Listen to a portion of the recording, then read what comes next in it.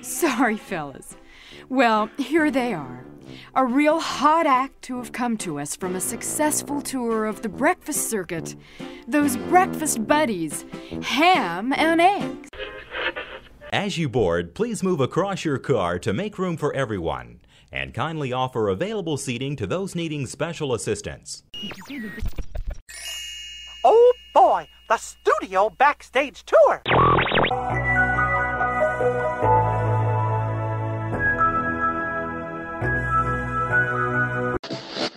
Let's give the little birdies a great big hand. Oui, applaud, applaud. Yeah, you down there, with both hands. W W Radio, your information station. Hello, my friend, and welcome to the WDW Radio Show, your Walt Disney World information station. I am your host, Lou Mongello, and this is show number 531. I'm here once again, not only to help you have the best possible vacation experience, but I also want to bring you a little bit of Disney magic wherever you are, not just with this podcast, but with my videos, live broadcasts on Facebook every Wednesday night, books, audio tours, special events, and more. You can find everything over at wdwradio.com and be part of the community by going to wdwradio.com slash community. So did you know that at one time, Disney had planned to build not just a shopping village, but an entire residential community in Walt Disney World? I don't mean Golden Oak, but from townhouses to apartments to single family homes and even a retirement community, this abandoned idea led to the creation of the Disney Institute. And here, guests would stay, play, and more importantly, learn from Disney in dozens of areas, including animation, culinary, gardening, photography, television, and more. And this week, we're going to travel aboard my Walt Disney World Wayback Machine to discover how the idea of this Lake Buena Vista Village community became a learning center thanks to Michael Eisner.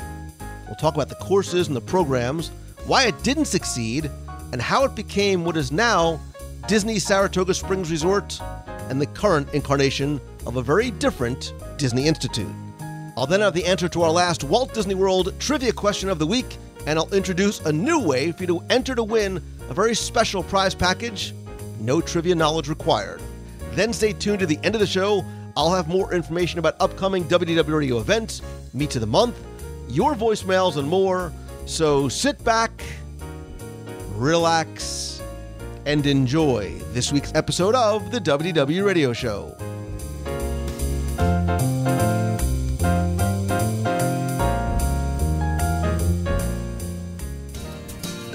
Tells me I'm going to remember this vacation. There's a new kind of vacation at the Walt Disney World Resort in Florida. It's a vacation that immerses you in a special world where you can try new things, where you can explore and discover at a resort destination unlike anything you have ever you experienced. won't believe what you can do. Today, when you hear the words Disney Institute, you may either be unfamiliar with the term or know of it as the professional development and business consulting division of the Disney Parks and Resorts, and where they sort of based on the best practices of the parks and resorts in, here in Walt Disney World and throughout the Disney company. The Institute offers courses that help individuals and organizations from professional development to leadership, service culture, and a lot more.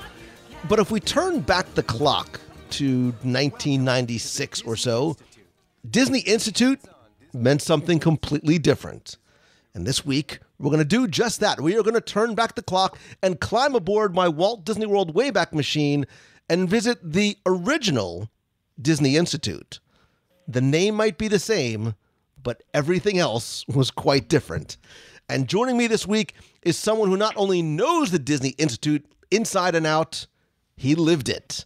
My friend, author, raconteur, and former Disney Institute cast member, Jim Korkis. Welcome back, buddy. Hey, Lou, thank you so much for in- inviting me back. I, I love your show. I love uh, uh, the listeners. I, I hope we'll be able to give them uh, a, wider perspective and greater insight into uh, uh, the Disney Institute because it really was a uh, uh, once upon a time uh, uh, fairy tale, but unfortunately it was one where they didn't live happily uh, uh, ever after. And uh, as as you alluded to, yes, I was uh, part of the opening uh, uh, crew. I was uh, uh, a, a salaried animation instructor at at the Disney uh, Institute, and I taught every single animation program. Um, uh, at the uh, uh, institute, and I was also cross trained and loaned out uh, to other program uh, uh, tracks, including um, story arts and video production and all that. Because again, I have a, a diverse uh, background, so I can provide that uh, insight. And as we were talking uh, off mic, uh, there really is very little information out there about uh, Disney Institute as that physical location for um, guest enrichment classes, and some of the information out there is misleading or inaccurate simply because from the moment go, from the moment it opened in February 96, changes were immediately happening. And it, and it wasn't just, you know, um, oh, yes, well, there's going to have to be some uh, adjustments, just like on any uh, attraction or, or new theme park or, or whatever. It, it actually uh, started, and it was a domino effect where things were just constantly changing, so you, you couldn't keep. Uh, uh, track of things. But but you know, uh, it, it's it's interesting. Even though the Disney Institute's on the the physical location where uh, uh, Saratoga Springs Resort and Spa is today, that really wasn't the beginning of the story, right? Yeah, and I actually, for me, Jim, I think the story of Disney Institute begins even earlier than the early 70s and, and right after Walt Disney World came to be. I think if we look at the history of this concept, I believe it goes back to Walt itself. And, and go with me here in terms of what I don't mean that Walt spoke of the concept of a learning institution on theme park property. But I sort of uh, um, no, but he, but he but he thought about a learning institution where you could sample a variety of different disciplines. That that that was the whole philosophy behind uh, California Institute of the Arts. Is that oh you're going there because you want to be an animator, but we're going to make you take classes in in dance and in architecture and and all of that because that's going to enrich you uh, as an animator. And so yeah, I, I think Walt's earliest uh, educational philosophy is. Um, that you should get the broadest educational perspective that you can, that you should be allowed uh, to sample, you know, different things because that that's going to add to your um, uh, whatever your primary major discipline is is going to be. Well, I even mean I, I also mean in terms of of the Disney parks themselves. So when he had these visions of what Walt Disney World was going to be, I, I sort of think about his concept of Epcot, right? He wanted this planned community where people would live and work and play and learn in a city that would ma- uh, act as, as a model for others and showcase technology and for a for some mm-hmm. people allow them to live in Walt Disney World. And when Walt passed in 1966, not everybody uh, agreed with the idea, or more importantly, they didn't know how to execute on it or what the details of his vision were.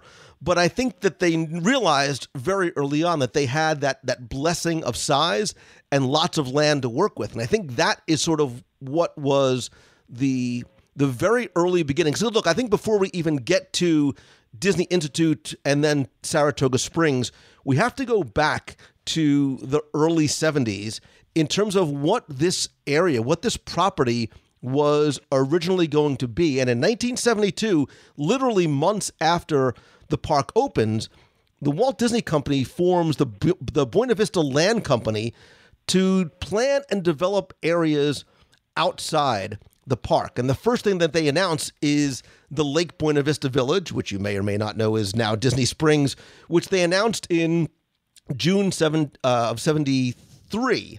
So they wanted to have this 1,200 acre community near what was called the Motor Inn Plaza, which is now Hotel Plaza Boulevard, right near Disney Springs. And this village was going to be divided into four different themed areas golf, tennis, boating, and Western. Interesting choices.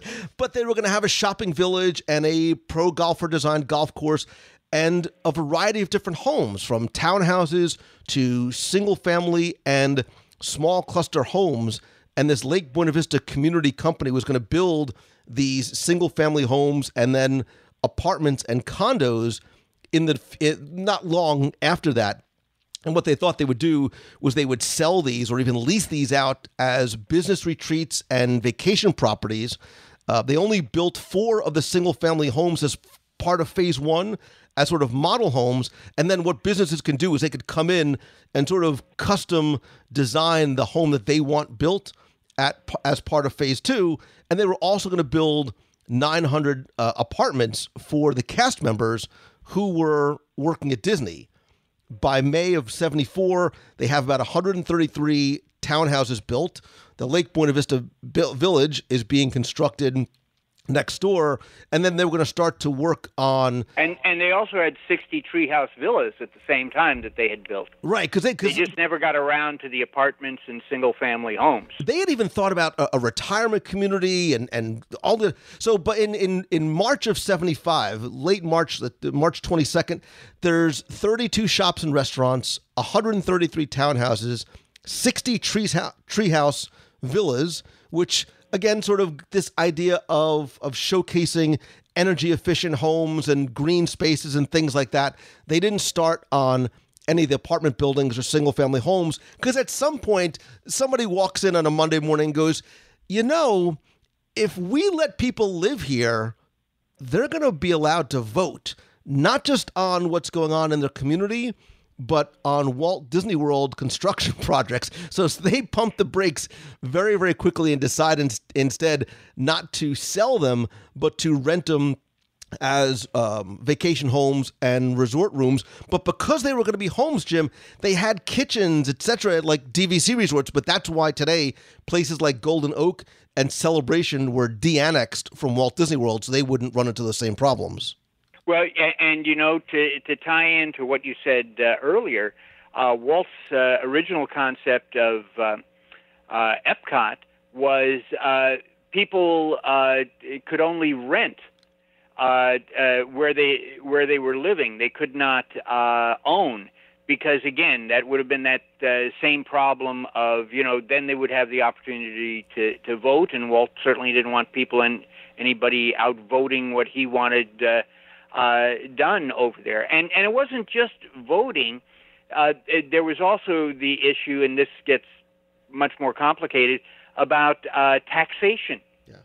So that if you have people in that area, how do you handle the taxation? And and even though uh, you know Reedy Creek um, Improvement District was given you know uh, wide uh, authority on, on these things, it, it still becomes a mess. And so it's less of a mess to just say, look, we already have, you know, resorts that we're running. This will just be, uh, uh, you know, a, another uh, resort. It'll be the Village Resort, you know, the Disney Village Resort. So, yeah, and and there were. It's funny that she sort of uh, paused a little bit when you called it because the, there was uh, like a million name changes for all the different types of houses. So and Jim, I remember coming down here in the, the mid 80s and seeing these and staying in these. You're with that my, old? Uh, okay, go I ahead. know. Yeah. so what they did was they you built, sound so young. I know. You look so young. Okay, it's, go ahead. I moisturize a lot. Um, so they built these uh, little villas, these little sort of condos around these courtyards and cul-de-sacs. Again, for green spaces and things like that, and then they were transformed into a hotel resort. And they also built the Walt Disney World Conference Center. Right? They still wanted to get those businesses in there. So mm-hmm. it opens up in 85 as the Village Resort. And then in four years later, they changed the name to the Disney Village Resort. And the Lake Buena Vista Village Shopping Center, also, they want to make sure that they that guests understand it is a Disney property. They changed that to the Walt Disney World Village, which later becomes mm-hmm. downtown Disney and Pleasure Island. It actually was the marketplace area of Disney Springs. But there was a lot of different types of villas to actually choose from. So they had vacation villas, which were one and two bedroom, like I said, condos. They actually mm-hmm. they renamed them townhomes later on when they when it became the Disney Institute. There were fairway villas that were open from like 78 to 2001, 2002. Those were two bedroom that were very energy efficient. They overlooked the golf course. They were built on these 10 foot high pedestals to withstand the flooding and for natural drainage. They closed them in 2002. They start using them, lucky people, for the international college program cast members. Uh, from like 2005 to 2008, and then they those two eventually get um, uh, folded into Saratoga Springs. There's the three bedroom treehouse villas, which are also the, again the, the, on top of the pedestals, and they also had these Club Lake villas, which are also known as the Club Suites, that were added much later on, like mid 1980s or so. And these were the ones that were meant to appeal to the conventioners and the businesses who were coming to the conference center. They become the club suite in 89 and there's they're they're not as big but they have two queen size beds, there's a separate sitting and sort of workspace area. Then they were renamed the bungalows when it was re- remodeled as the Disney Institute. And then finally they had only 4 of those single family dwellings that they called the Grand Vista Suites. And I want to say that's where I stayed with my family. We had brought some cousins down, but it might have just been wishful thinking. But those were sort of like the model homes, and then obviously everything becomes part of Disney Institute as as we get to there in 1996. Well, and and you probably did stay there uh, simply because uh, of the number of people in your party. So you know that that would have been the largest you know uh, uh, place you know that that could house that number of people. And I'm sure at this particular point, you've you've got listeners to this program going, "What?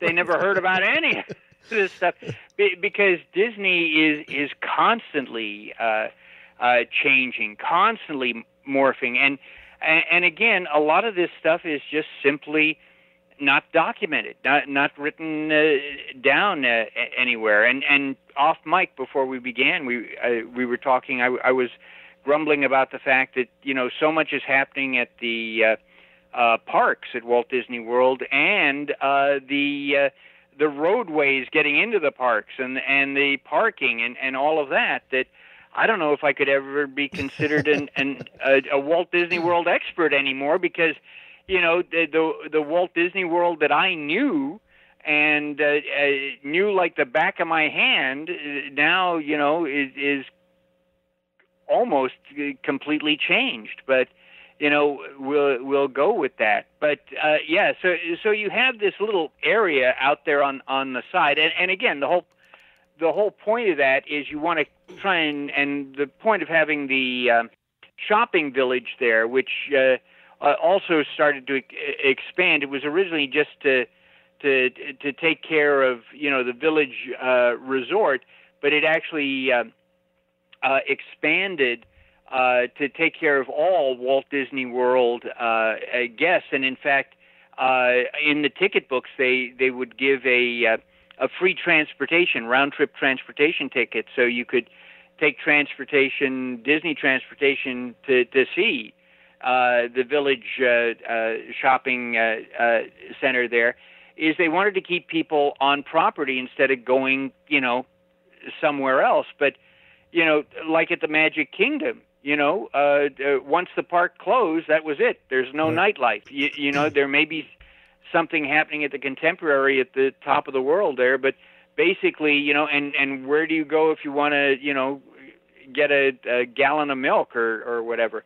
And and I think a lot of people don't realize uh, too that that whole crossroads section there, uh, Disney owned all of that land there, you know, at one time, and eventually sold it off and now that's going to go. Right. Uh, right. End end of this year, beginning in next, I guess they're going to bulldoze all of that uh, down. You know, to to have another uh, off ramp and a flyover and wider lanes and and things like that. And so Crossroads, you know, I don't know where all those businesses are going to go, but. Uh, uh those who go oh yes i remember as a kid going down there and we used to to go to the you know supermarket there and Right. and get mountain dew or whatever you know uh not happening anymore Well, but, that- you know, but you know while I, think while that's- all of this is going on you know michael eisner becomes ceo in 1984 and he takes a look at disney property and he's going you know look at all this land we've got here. We need to you know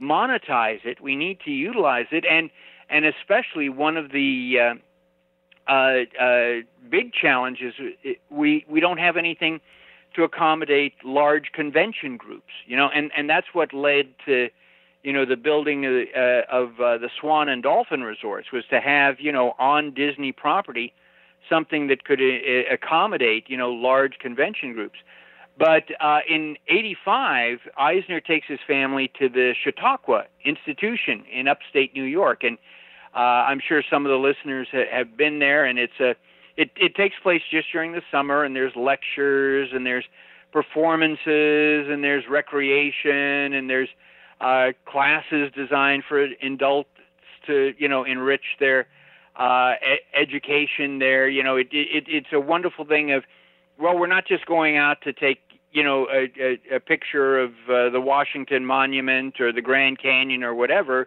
We're actually doing something, you know, to uh, energize our minds, energize ourselves, you know, uh, uh, before we go back. And and in fact, that 1985, that was around the time where uh, those type of enrichment vacations were becoming uh, uh, popular, like uh, eco travel, where people could combine, you know, a nature experience with, you know, lessons on the uh, environment there.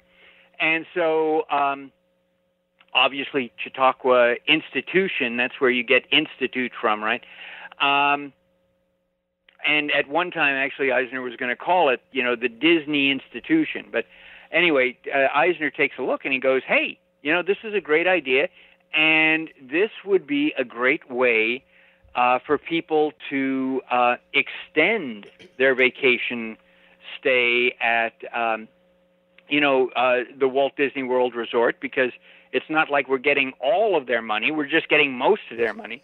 And also, uh, if we had something like this, we could attract in a whole new demographic. You know that that really isn't interested in the Walt Disney World theme park. And I know this is going to be hard for the listeners to hear, uh, but I have actually run into these people who don't care about going to a Disney theme park.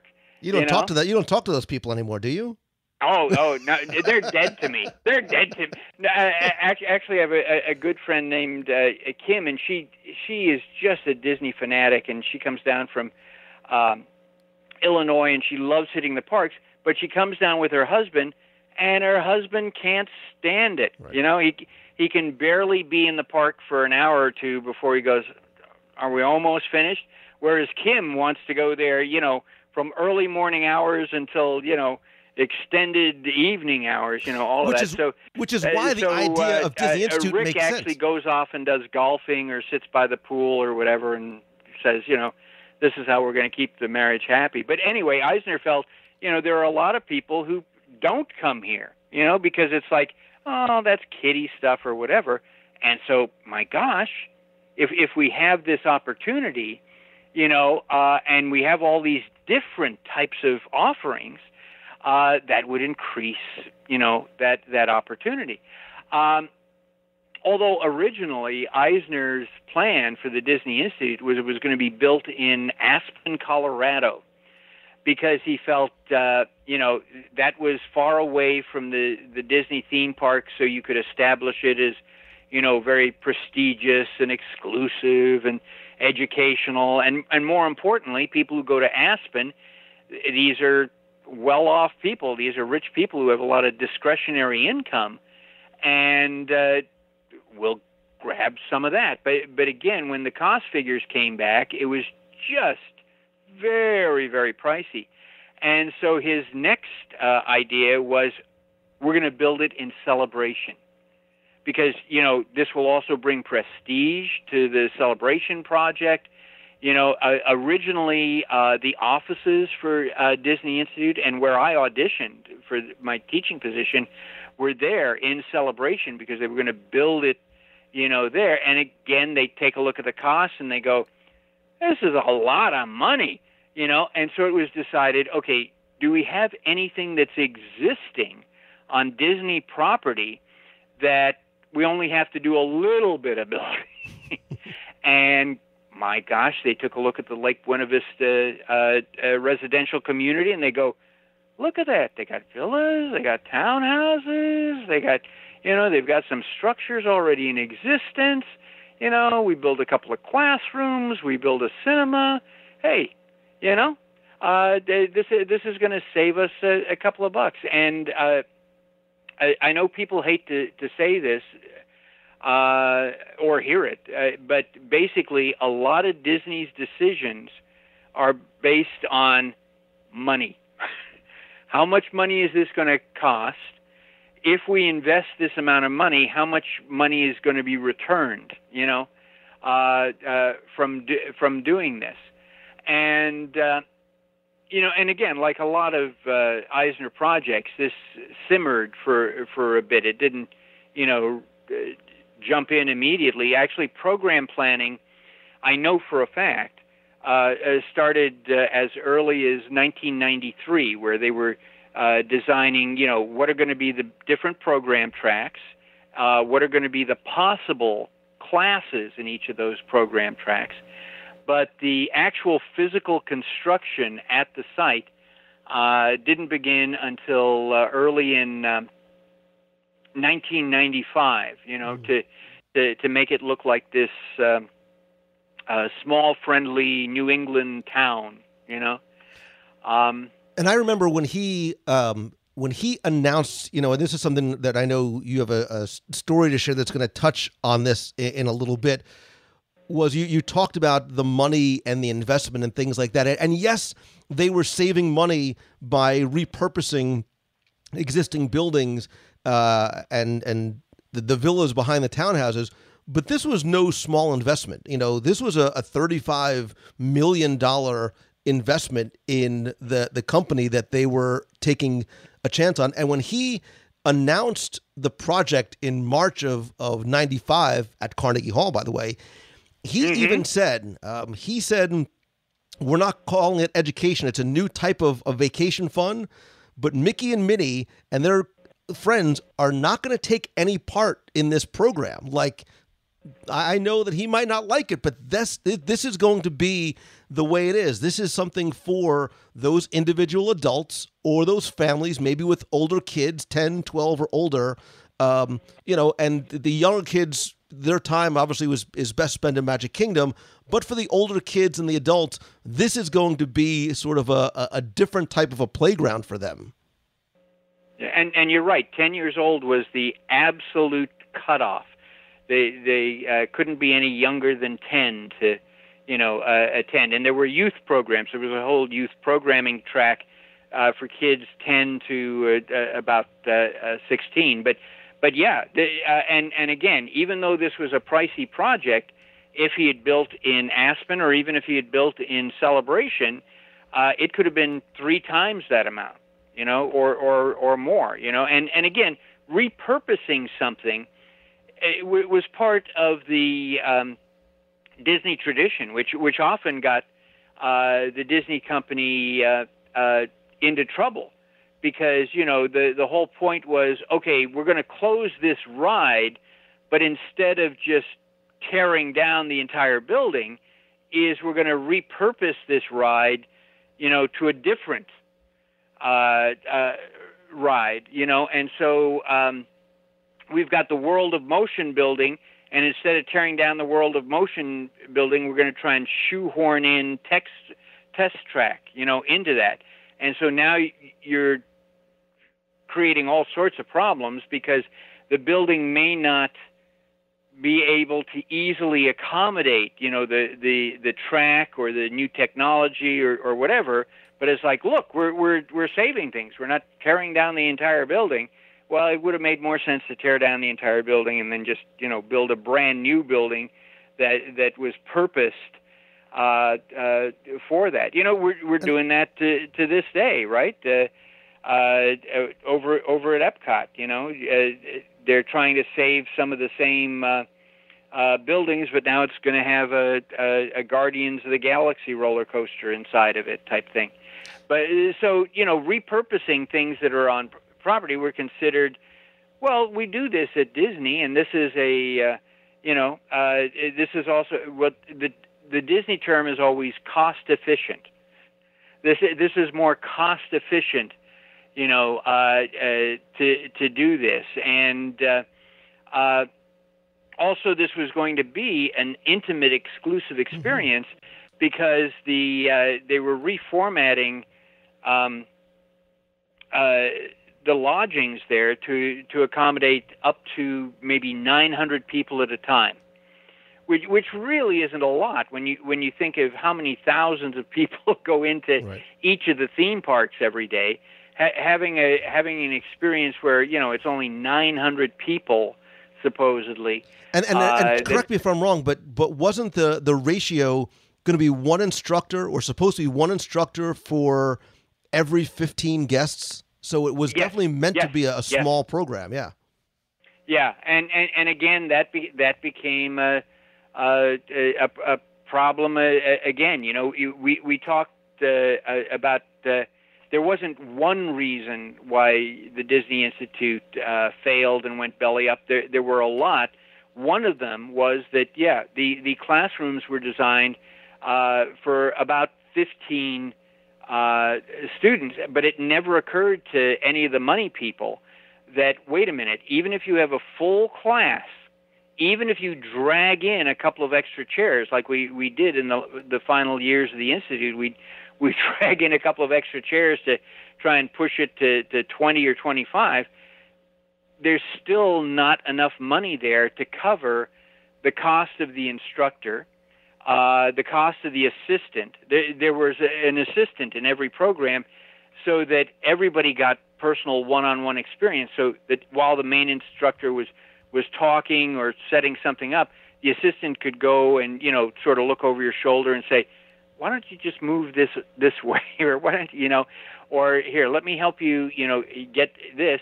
And then there was also a, a prep and cleanup crew that that would come in and set up uh, the room. So in animation, they would come in and they they would set up the the cell paints and the paintbrush and the uh, the the cell and you know the this uh, the index cards you needed for the bouncing ball flip book and and things like this. And then at the end of the class, uh, they would come in and they would clean all this stuff up. Plus, your overhead includes the utilities. It, it includes those materials, which really didn't come cheaply because you're you're trying to get, you know, the top of the line stuff. Because part of the thing is, well, I'm taking this class, and when you leave, you take this with you. You take your painted cell with you. You take uh, the meal you made in gourmet uh, cooking, you take it with you. You know, either to eat uh, uh, for your lunch or dinner, or if it was cookies or something like that, take it take it back. You know, to to your room. So, you know, this becomes very pricey.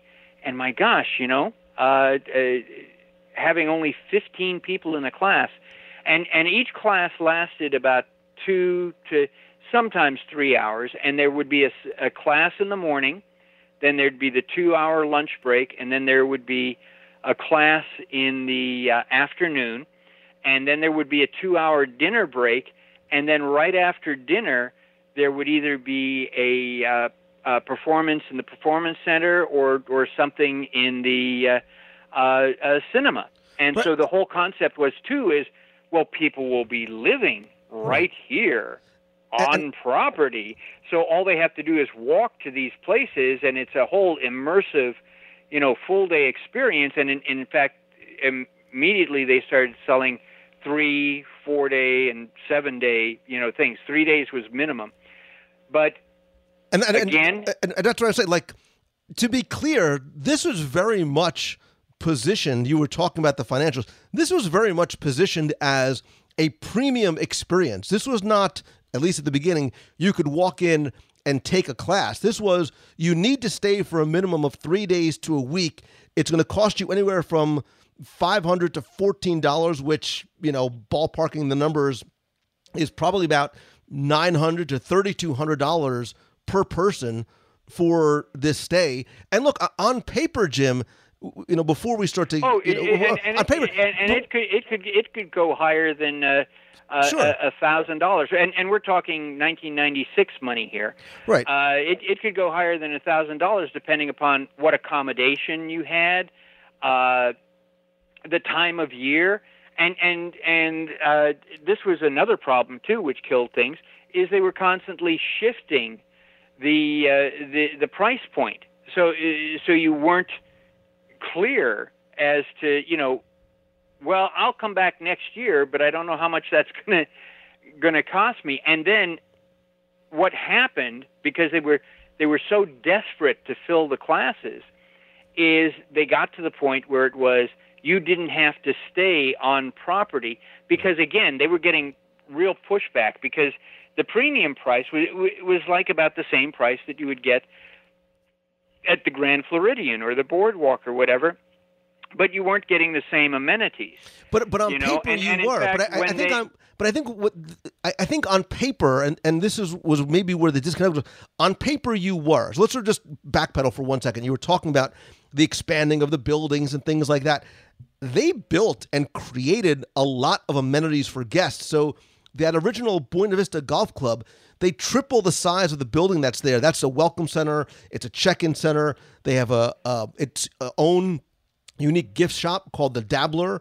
They had a, a relaxation. Actually, it was dabblers with it with an S at the end, because basically it was named after the fact that guests were coming and they were dabbling in unfamiliar disciplines, and dabblers were selling exclusive, pricey, upscale merchandise that was related to the classes that Right. guests could take. So, you know, if, if you were uh, going into the gardening class and you're taking the topiary class and making a Mickey Mouse topiary, you could go into Dabblers and you could buy wire frames for, uh, you know, other other uh, uh, characters, but it, it was a premium price, you know. And uh, yeah, I, I I know online they refer to it as Dabbler, but it was Dabblers because because I was there. Gosh darn it! And uh, I, I also had to take care of uh, dealing with the animation uh, uh, uh, stuff that was being uh, uh, sold uh, through there, and they had how to draw books and things things like uh, uh, that. But but you were saying, you know, it it it tripled in size. Yes, you got that uh, check-in desk, you got dabblers. Right, there's a and lounge- what else gather- did you have, Lou Mongello? what else did you have in that Buena Vista Golf Club building? They had the Gathering Place Lounge. They had yes, a wh- wh- which had a grand piano, and Judson Green would come there at Hmm. night and play on the piano. I, I don't know if people remember Judson Green. He was being groomed to take over for Michael Eisner, and as soon as he realized that Michael Eisner wasn't going anywhere, uh, Judson Green went somewhere. But Judson Green, uh, again, like a like a Frank Wells, if you met him in person, wonderful, wonderful human being that really cared about people, really cared about the guests, really cared about cast members. Very smart, very sharp.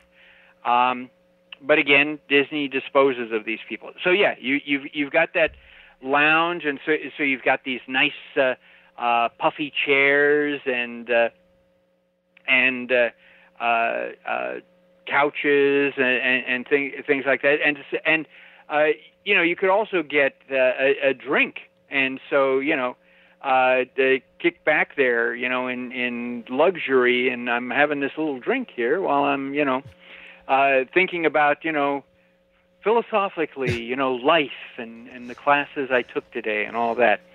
So there's also- the lounge was outside of what? the, the restaurant. They- They had a full service restaurant called Seasons, which Mm-hmm. again as if you if you were to read it, they would have a themed menu that changed every night. The Mm-hmm. problem, and I never ate there, but the problem, from what I understand, is that the the concept was wonderful, but the execution wasn't because it wasn't necessarily the quality of the food wasn't up to par with some of the nearby restaurants, including the ones that were at the you know the the village next door. And that and that well, that uh, was closed first, right? That was the first. Seasons was called Seasons because there were four dining rooms. So it was related, and each dining room related to one of the four seasons. And there were murals painted on the wall and all that. And and actually, the food was was, was pretty uh, uh, upscale. Um, but again, the the problem with uh, the menu was since it was constantly changing, you found something that was a favorite of yours, and then during the rest of your stay, they didn't offer it again. You know, and uh, it, it, it was also very casual, and part of the problem, and and Seasons was one of the first things that closed at the Disney Institute, because you know people from off uh, uh, Disney Institute property could come and dine at Seasons, but it was difficult to get to the Disney Institute, and then once you got to the Disney Institute, it was difficult to find parking, and and in fact, there were really only about I'm I'm trying to- remember now. There were maybe 20, 25 parking spots close to where Seasons was. Every other parking spot you really had to hike, you know, to to go get to eh, get to to Seasons, and so. Um, sometimes the food actually was too fancy for some of the guests that, that were there. And uh, other times it was just like, you know, uh, they would do, and, and I hate this at restaurants, is suddenly they would just do this experimental thing, you know.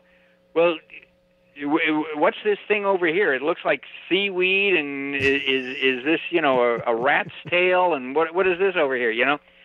Um, but again, you're talking to a guy who grew up on McDonald's Happy Meals, so you know my my um, my culinary expertise and uh, is, is very limited.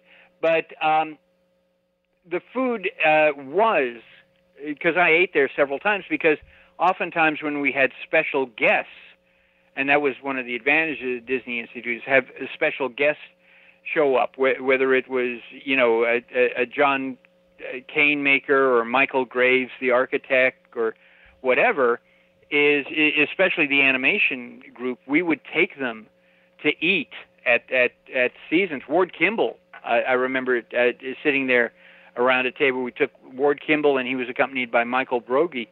Uh, up there, and we had a wonderful, uh, wonderful evening. And uh, uh, Ward didn't complain about. Uh, uh, actually, I was going to say Ward didn't complain about the uh, the the food. He it, there was a dessert there, which was this sort of cream pie, and uh, uh, Ward is is quite up there in in years now. You know, we're talking 96, 97. So, um, and and he supposedly been happily married to his wife for decades, and so he's up there, and you know, there's a round table, and we've we've got the uh, uh, animation uh, uh, staff there, and one of the assistants, uh, Mary, who who was in her uh, 20s, because each of the animation uh, uh, salaried instructors had an assistant to help out in, in each of the classrooms. And Mary had a background uh, at Disney as a cell painter. She was an incredible cell painter, but you know she was seeing you know th- that job went south. So so she's a, an assistant there. And she's sitting next to, to Ward Kimball, and Ward's eating, and she says, "Oh, you've you've got a, a little bit of cream, you know, on your your nose." And so she licks the tip of her finger and wipes off the cream on his nose. And uh, uh, Ward's been flirting with her all evening, and he looks down at his pie and he rams his face into the pie, and then turns to Mary to see what she's going to do next.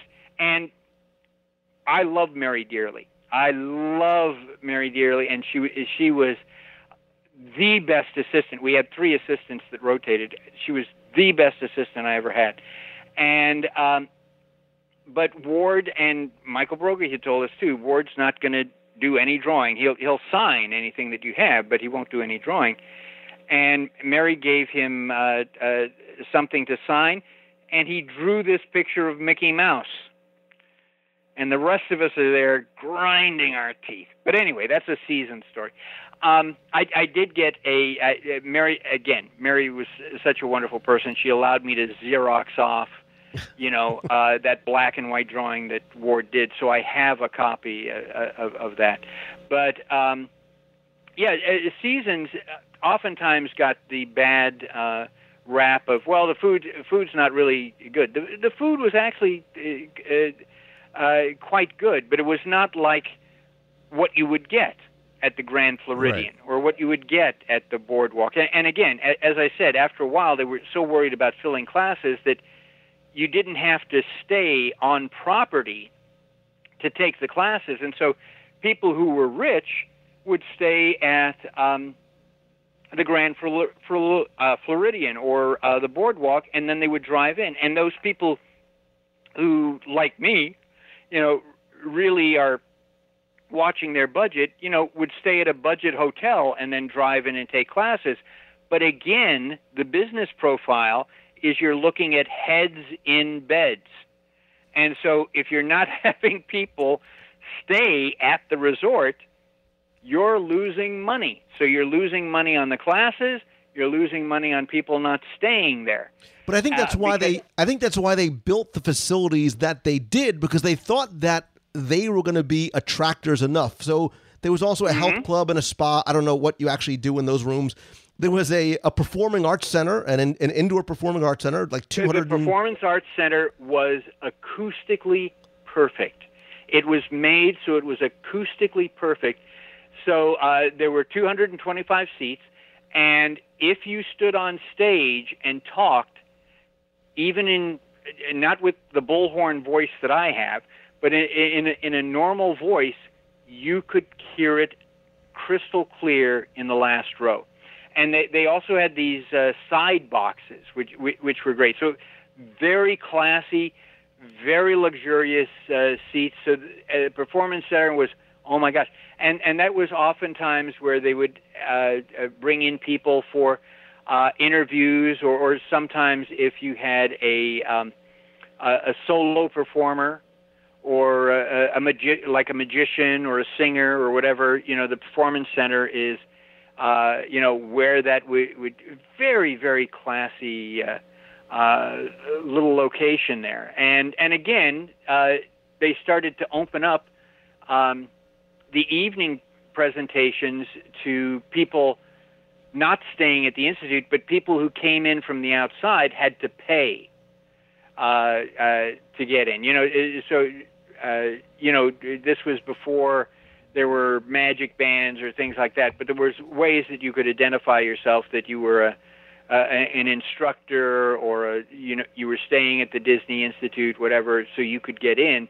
But other people had to pay in order to uh, get in and see the performance there, or see it in the cinema, which was uh, 400 seats, and uh, again, state of the art, no balcony. I, I I thought, my gosh, they should have a balcony here, but they don't.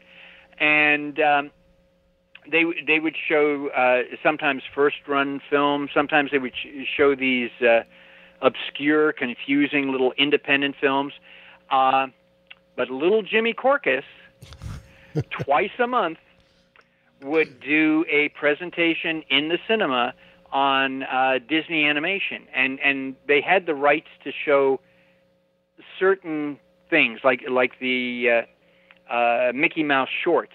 So I literally d- devised a dozen different programs that centered on different Mickey Mouse shorts. So there was a Halloween show, there was a Building a Better Mouse show, things like that. So, uh, and and those were really really well attended because again, people wanted to see Mickey Mouse. They didn't want to see you know uh, some of these really depre- depressing feature films, which are were really prestigious. So I, I'm I'm sorry I didn't appreciate them more, but you know, uh, and and again, beautiful uh, beautiful theater. And uh, here's a sad story for you. Here's a sad story for you.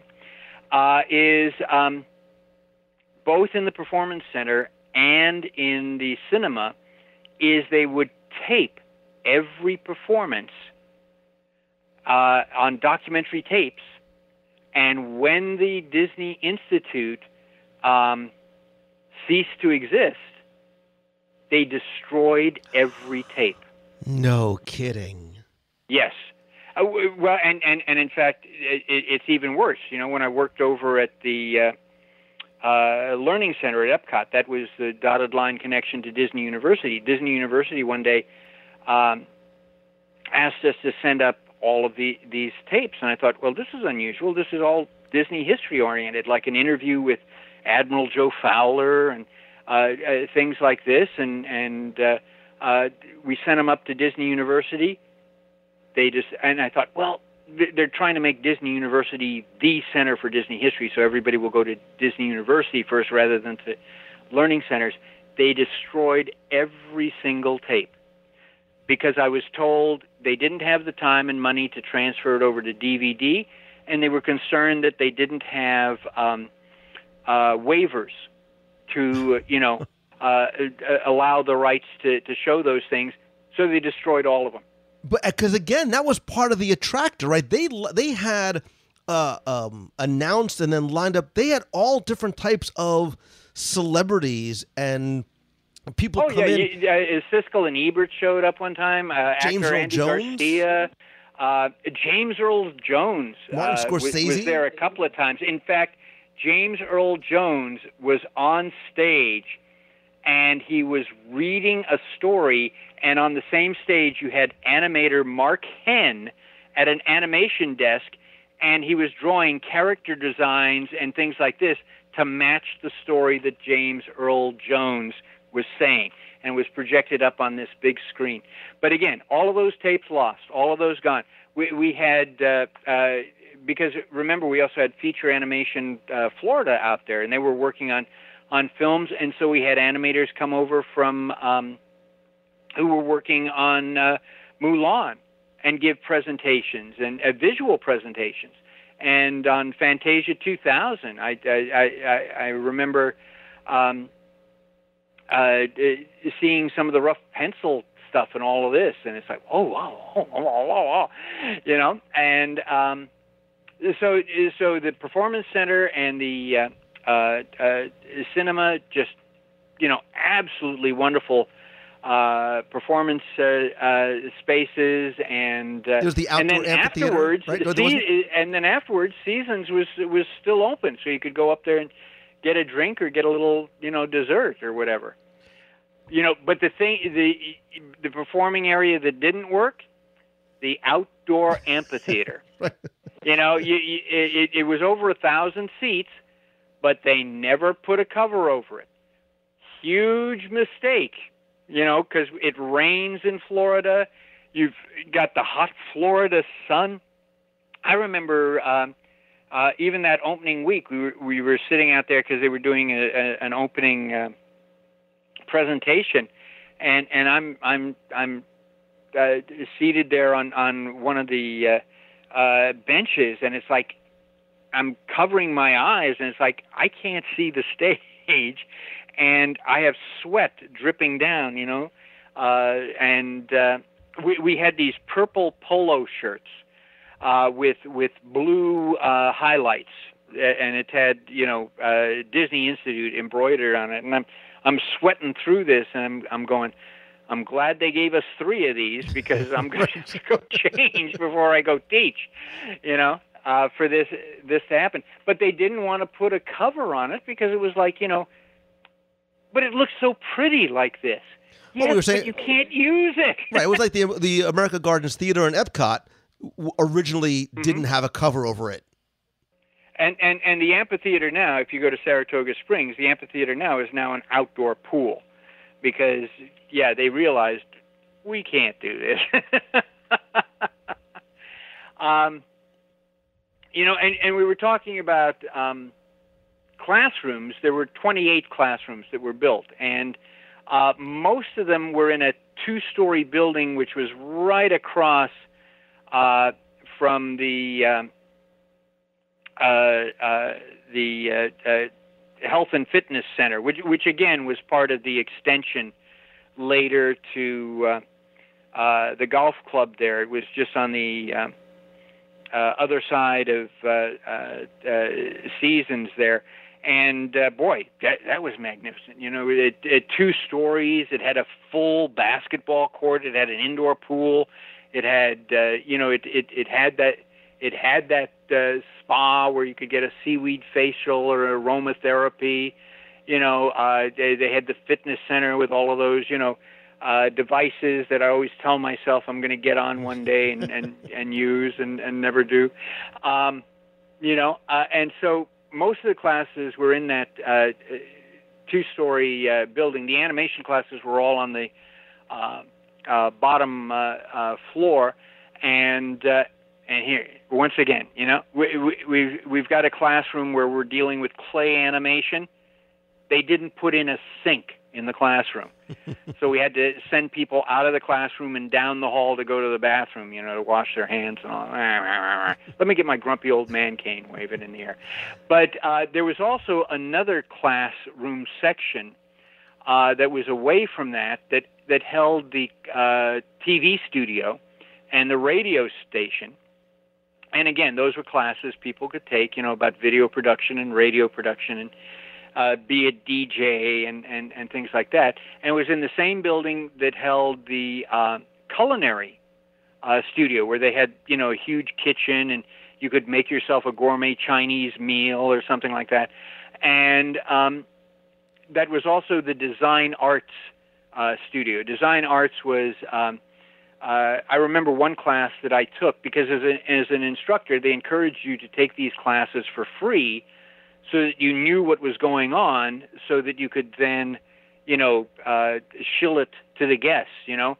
Well, you know, if you liked painting that cell, you might want to go over to the design arts thing because they have this class called faux painting where where you can, you know, uh, uh, do up uh, uh, this design so it looks like wood or it looks like marble and all that, and save you a ton of money and the, the the whole whole bit, you know. Um, and so, uh, you know, I was there, as I said, opening crew, and on opening day. I was there where, and I've told you this before. Michael Eisner stood in front of all of us, and he said, "Look, I understand that this is a new and unusual concept. I don't. Uh, I, I'm I'm fine with the fact that it's probably not going to make any money for the first uh, uh, uh, three years. You know, I'm going to support any losses because it's going to take, you know, word of mouth uh, uh, to build this up. Because even though it opened in beginning of February '96, we had been doing soft opening classes all through January for uh, selected uh, cast members, and uh, there were dozens of travel writers for magazines and newspapers that had come in, and and it helped us shake down, you know, uh, the classes, but it also gave them an idea of, oh, look at this, this is different. So anyway, Michael Eisner up there saying, you know, by golly, you know, uh, I'm going to uh, support this, and you know, I'm thinking, my gosh, I've I've got a a, a job for for life, you know, because this is. Uh, at that time, it was the best job I'd ever had in my entire life. It, it, looking back on it now, it was the second best job. Uh, first best was working with Disney Adult Discoveries, the behind-the-scenes uh, tour things. But anyway, Michael Eisner saying that, and we're all, oh my gosh, this is great. Within six months, classes and staff were cut. So there were classes like uh, genealogy research, uh, spiritual inquiry. I'm sure you would have wanted to take that. Power babysitting, money management, gone. And that just began this whole thing of bum, bum, bum, because when the institute opened, you had 80 different classes in nine different program tracks. You know, but within the first year, by 1997, a lot of these program tracks, you know, uh, were completely cut. They had a program track called Story Arts, and they had classes like uh, Storytelling Journeys and As Walt Would Tell It. So As Walt Would Tell It was was a, a class uh, about uh, Disney animated films and how Disney goes about you know, taking a, a classic uh, fairy tale and making it into a film and storytelling elements in an animated film. Excuse me, storytelling elements in an animated film. And the lead instructor for that class and the guy who developed it was an Imagineer by the name of Charlie Kurts, K U R T S. And uh, Charlie had worked on the creation of the Splash Mountain attraction. And if I had been a little sharper and not so busy worrying about trying to get my animation classes together, I should have sat down and really interviewed him uh, because uh, I was cross trained into teaching that uh, that class, as Walt would uh, tell it. And Charlie uh, Charlie was great in terms of being a mentor of, of getting me me through that. But I remember the head of the story arts department, you know, in front of me, goes, "He's not a storyteller. He's just an actor." And I said, "Oh gosh, I'm I'm sorry," because this guy w- had won storytelling awards and was a member of storytelling organizations and and whatever. But management needed a backup in case Charlie got sick, you know, or Charlie was needed somewhere else. You know, Jim Korkis could be trotted out and and and teach that class and and do a, a, a competent, solid job uh, uh, of it. But you know, by 1997, that whole department gone. You know, it's like what? And we should, and I You want to just, just so people understand, Jim, because when I think we're talking about the institute and the programs that are there, eh, because again, as some as a kid who was so excited for this concept and wanted to go and wanted to take these classes, like I want to, I want to sort of go through those programs and classes so people have an understanding of what was there because I wonder to this day, and we can sort of touch on this as we wrap up, but I wonder if this concept, if if properly executed today, would be incredibly would work popular. today. Ab- absolutely. absolutely. In, in in fact, the line that everybody, including the staff that worked there, started using the second year and was used right up until its closing is, you know, everybody has great ideas of how this concept could work, except the people running the institute. and and and again, part of that was because of the people who were se- selected. You know, uh, Richard Hutton actually came from um, uh, public television in uh, uh, Washington and, and and New York, Washington D.C. and New York, and the staff that he created came from that same uh, milieu. So none of them were immersed in the Disney culture. So let's talk about some of the actual programs that were available. And these changed throughout the years. They expanded, they shrunk down a little bit, and certainly at the end, there were far fewer than at one point when there were upwards of almost 80 different programs in nine different program tracks. And again, the names changed, the content changed, but for the most part, I want to give you an idea of just some of what was available and how and why I I think from a personal perspective, it was so very exciting. So in the animation program category, there was an animation production workshop, which was a two hour workshop where we would work alongside an actual animator, like a Jim Korkis, and create little film clips. You'd learn drawing techniques, things like uh, sw- squash and stretch. There was a clay animation one, a computer animation one, which again at the time was relatively groundbreaking, just learning how to animate a, a, ball bouncing up and down. You could discover animated characters, which is you'd learn about the process of Disney animation and actually paint an animation cell, as well as Disney character drawing, the importance of Disney character integrity when creating a, a character like Mickey or Donald, or really any character, the, the importance of character integrity is critical. There were also a number of culinary programs, which makes 2018 Lou Mongello both happy and sad that he didn't, didn't get a chance to do it. There was Taste of the World, where you can order, you can uh, try your hand at preparing dishes that offered culinary tours through specific regions of the world.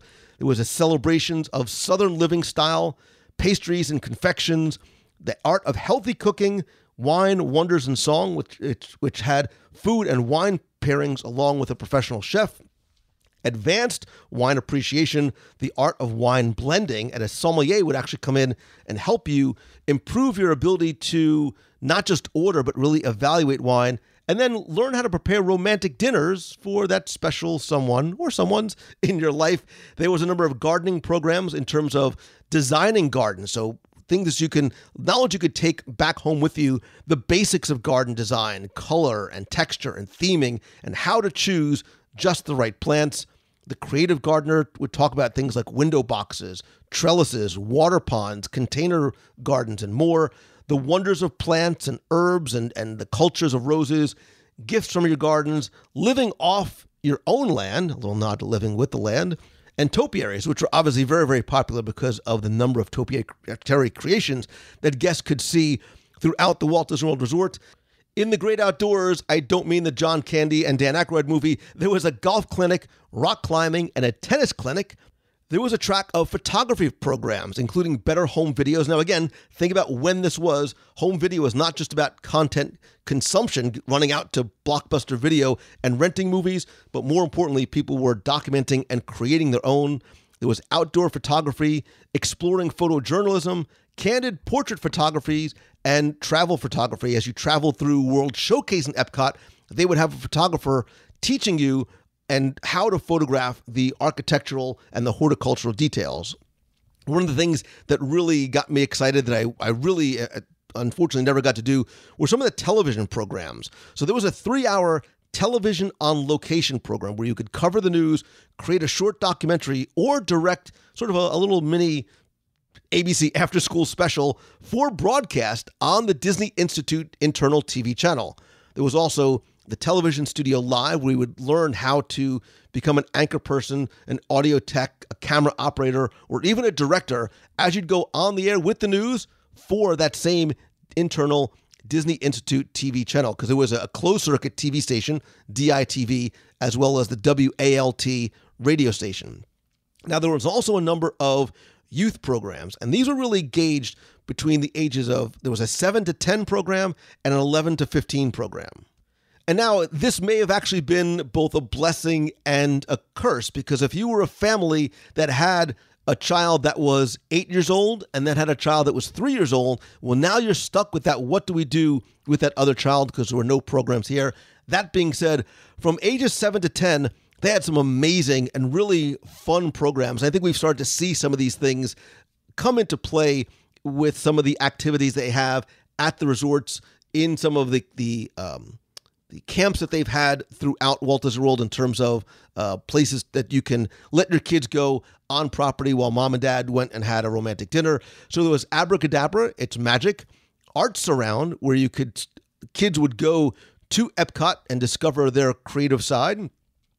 Broadway Bound would teach kids how to act, sing, and dance Disney style. There was campfire cooking. I love all the food. Creating comics. Dig that, especially now the Discovery Island Kids Venture, where they would actually go and visit Discovery Island for some hiking and some bird watching. Face Magic would teach them how to the the theme park face painting artists would create and transform uh, guest faces using um, using makeup, and then the Swamp Stomp would take them on a nature safari through the cypress swamps. And it really was an environmentality type of thing because they would really learn lessons about how to protect the environment.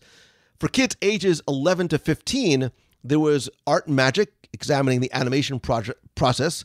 The Discovery Island Explorers, which again take them over to Discovery Island and uh, watch and help be participatory in some of the live animal shows. The Funny Papers would t- learn cartoon secrets for creating comic strips. Stealing the Show, again, a little bit more advanced in terms of the elements of good show from a Disney perspective. A lot of the things that you see now are taught at the current Disney Institute for businesses and corporations. Showbiz Magic would take kids into the utilidors to really get one of those early looks behind the scenes at scenes at creating some of that magic, and then youth rock climbing, which is a two-hour climbing technique um, that would bring them obviously outside to an outdoor rock wall. There was also other programs that came in and out. And I think some of these are both fun, funny, and a little intriguing. There was antique treasure hunting, which was so interesting. I would have loved, to, you know, as a, as a kid whose parents owned an antique store and literally traveled the country by car treasure hunting as a kid, this would have been interesting to see how that would have translated into a program. I wonder if they would have taken them over into the old antique store in Liberty Square, as Walt would tell it, sort of a, a storytelling and Walt connected program. Aerobics, canoe, canoe exertour. It sounds a lot like exercise to me. DJing, like the DJ handbook. The Disney architecture, I like that one a lot. Imagineer It, where a real Disney Imagineer would help kids design their own theme park attraction. I meet the height requirements, sign me up. Improv interacting, where you'd learn improv by some of the actors at Pleasure Island, like in you'd, you'd go to Pleasure Island. Journal writing, midlife and beyond, not quite sure what that is. Muscle basics, clearly I skipped that one a lot. Painting illusions, puppetelling, self defense, spiritual inquiry, hmm, and time and organizational skills. Again, I'm going to put uh, videos of some of these programs and some of the testimonials on the show notes page. If you go to WDWRadio.com and click on this week's podcast, I'll post some of the videos, the promotional videos that really go a little bit more in depth into these programs. But I love that it was such a, a wide spectrum of programs that I think could meet the needs and the wants and the interests of almost everybody in the family. Again, as long as they met that seven year old age requirement. So I imagine families being able to do things both together as well as individually, and then, like a cruise, coming back together for dinner at night to talk about their experiences. Most of these programs were anywhere from two to four or five hours. So it, it's not like you were taking the entire day out. You could still do some of these programs enjoy the facilities, go to the theme parks. So you got a little bit of a mix. And I think that's why I was not only disappointed that I didn't do it, but that it hadn't remained, and that obviously we don't have the opportunity to do it now, and why I still believe it would do very well if positioned and marketed correctly to a 2018 and beyond audience. Uh, but what happened is by 1997, uh, those nine programming tracks had been chopped down to six and and some of the programs, you know, consolidated, and also in 1997, in order to stop the bleeding uh, from Disney University, they brought in the professional development programs, the magic behind the business, and there was also the hope that professional development would then team with the Disney Institute instructors, who they referred to us as trained monkeys. Uh, we would offer guests an experience in gourmet cooking, animation, gardening, you know, that type of thing. And then the professional development facilitators would step in and pontificate and make the business connections, you know. You see, when he taught you how to draw a Mickey Mouse there, you know, notice how the directions were clear, and that's what you need to do in your business, you know. Da, da. Uh, and boy, they just hated being there because being at Disney University had been prestigious. They had better accommodations, things like that, and they knew they were being brought in to be a band aid for a dying project. They also brought in the Disney Adult Discoveries, that's the uh, backstage tours like Backstage Magic, Hidden Treasures of World Showcase, Innovation in Action, and then they brought in the uh, uh, Disney University Wonders program that got renamed Yes, mm-hmm. which is Youth Education Series, and um, you know, uh, but by 97, uh, and, and again, it, when we talk about, well, these are classes, there, there were no tests, there were no grades, there was no homework. And basically, we had um, designed the classes so that they would be as foolproof as possible, so that every single guest, despite their abilities, when they left that classroom, they had had a successful experience. Now, some were more successful than others, but everybody was successful. But we locked it down so it was almost like, you know, there's a little wiggle room, but this works. And I, I think when you asked me to talk about this, I said, remind me to tell you about the computer animation program uh, uh, incident. So I'm going to do that now, and then we'll talk about the program tracks and the different classes in each uh, of those program tracks.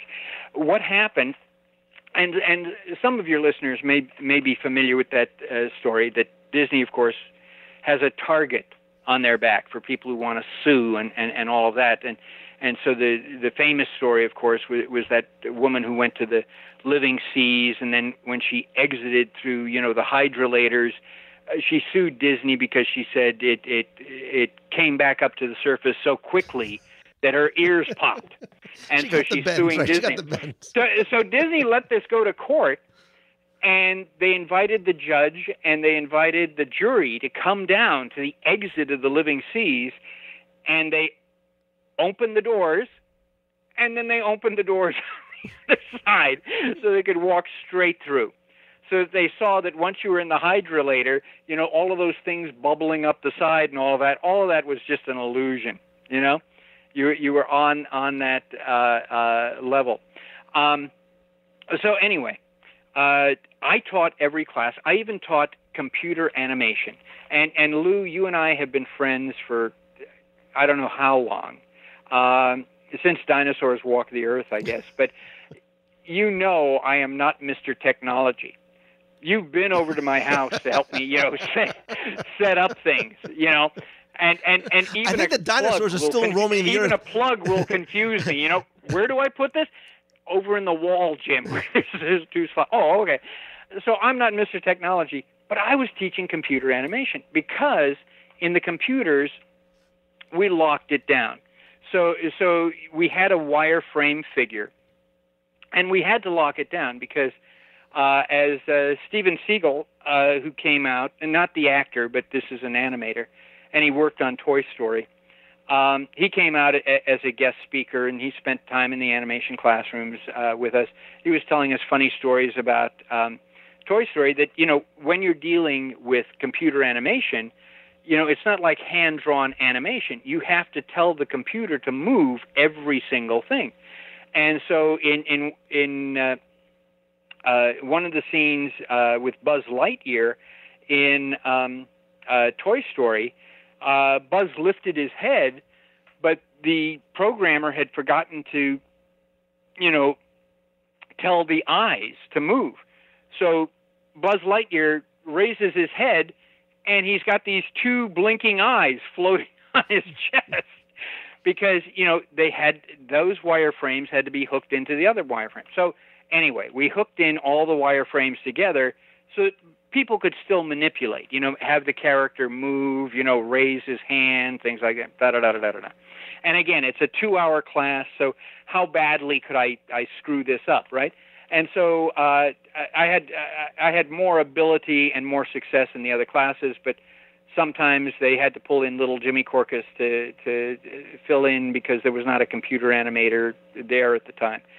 And uh, so if it, if it was that simple that I could do it, you know, m- most guests could do it. Well, what happened is suddenly the animation department we get called into the office in a group. Apparently, there was um, uh, this teenage kid who had taken the class. He wanted to be a computer animator, all of this, and he had written on his website that he had taken the computer class at Disney uh, Institute. He had created a bug figure, and the instructors said, This is just marvelous. And that figure was later used in A Bug's Life, and all he was given was a Disney Institute uh, uh, T-shirt, and and so you can imagine what the comments were. You know, Disney stealing from this teenager, and this is intellectual property, and and and and even though the guests signed waivers, and, and you know that's that's why they didn't need to destroy those documentation ta- tapes, because I was a I was a presenter. I knew every time I presented, I had to sign a waiver that Disney could use that material anywhere they wanted, any way they wanted. You know, um, so you know, and it was like so we had to defend that no, there, there is no possible, and we had to bring in people to show them there is no possible way you could create anything on that computer, and certainly not within the time limit uh, uh, of the class.